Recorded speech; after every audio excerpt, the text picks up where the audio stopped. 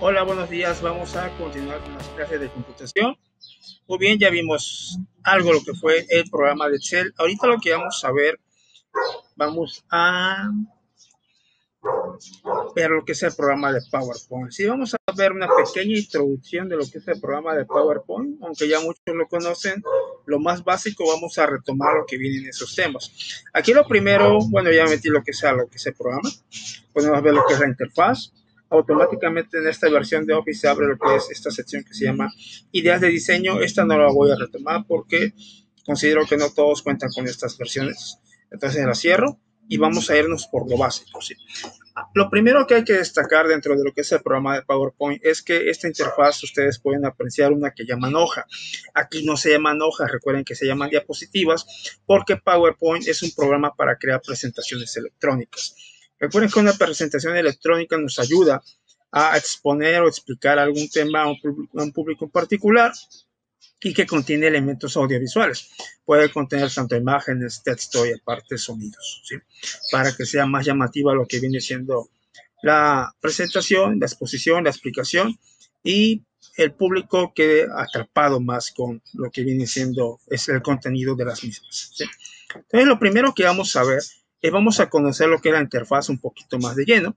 Podemos darnos cuenta que la interfaz es una interfaz similar dentro de lo que cabe a lo que son los programas de Excel y a los de PowerPoint porque pertenecen a la suite de Office. Recuerden que la suite de Office es, son herramientas de la ofimática que pertenecen a la compañía de Microsoft. Entonces, estas cuentan con una interfaz Ribbon. Ribbon significa cintas porque si yo cuando estoy ahorita en la cinta de inicio me paso la de insertar, diseño, cada una de ellas cuenta lo que viene siendo con herramientas diferentes que se van a adaptar a esas cintas y que nosotros podemos identificar de una manera un poco más intuitiva. Aquí el término intuitivo dentro de lo que son los programas es que con el simple hecho de ver lo que es un botón o a lo mejor un nombre, nosotros podemos identificar de una manera más fácil la herramienta para que sin la necesidad de tener tantos conocimientos sobre los programas, el usuario los pueda utilizar y aprender de una manera mucho más fácil. Entonces, ahorita estamos en la cinta de inicio. Podemos darnos cuenta que aquí hay algunos elementos muy similares a los del programa de Word. Por ejemplo, el grupo portapapeles, el grupo fuente y el grupo párrafo. Ahora, estos son los elementos que coinciden mucho con Word e incluso también con algunos elementos de Excel. Y la diferencia radica en que aquí hay un grupo que se llama diapositivas y el grupo de dibujo que nosotros habitualmente encontramos dentro de lo que es la cinta de insertar, también hay un atajo aquí también, ¿sí? Aquí lo podemos dar cuenta. Muy bien, ahora, Aquí lo primero es que las nuevas las diapositivas tienen un diseño. Este es un diseño que es de título y subtítulo. Nosotros podemos cambiar los diseños de las diapositivas de acuerdo a nuestras necesidades en esta herramienta que se llama diseño. Ojo, aquí a lo mejor solamente quiero que tenga el título y se fijan solamente me va a aparecer un cuadro de texto para que solamente escriba lo que es el título. Vamos a cerrar esto. Muy bien. Ahora, nosotros conforme vayamos insertando nuevas diapositivas, nosotros podemos ir seleccionando qué tipo de diapositiva nosotros necesitamos. A lo mejor quiero que sea una con dos objetos. Le doy clic y ya automáticamente nos aparece aquí lo que viene siendo una diapositiva que nos va a permitir agregar lo que viene siendo estos elementos que se encuentran a continuación. Podemos agregar desde una tabla, un gráfico, un gráfico tipo SmartArt, modelos en 3D, imágenes, imágenes de archivo, videos y iconos también. ¿sí? Y aquí podemos agregar a lo mejor una imagen y aquí una descripción de esa imagen con viñetas o podemos quitar lo que es las viñetas para escribir un texto sin las mismas.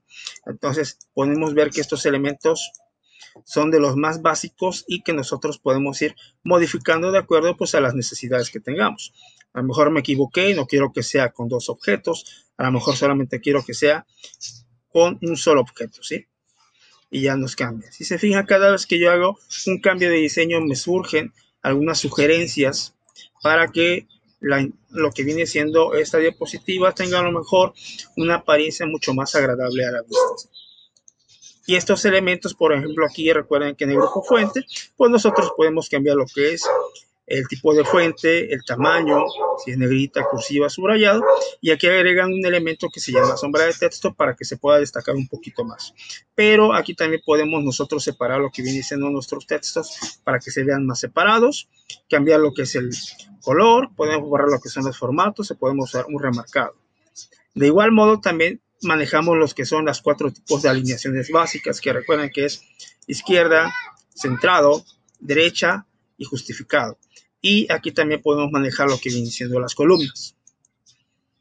Entonces, dentro de lo que es la cinta de insertar, bueno, perdón, de inicio, considero que son los elementos más habituales y podemos hacer una excepción de que aquí, por ejemplo, desde esta misma cinta, nosotros podemos ir agregando algunos elementos que, por ejemplo, en Word tendríamos que irnos a fuerza a lo que es la cinta de insertar, porque de este lado podemos encontrar un grupo que se llama estilos. Entonces, esto sería todo por esta clase. En este caso, solamente voy a hacer una pequeña preguntita que les voy a dejar en la plataforma de Classroom. Hasta pronto y que tengan un excelente día.